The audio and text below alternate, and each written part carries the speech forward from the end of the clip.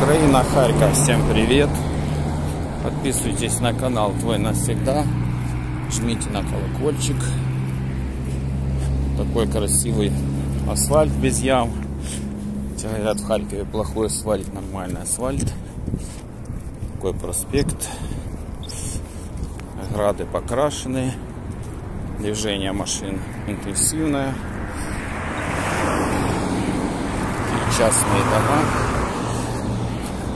Девушки гуляют. Девушка, вернее.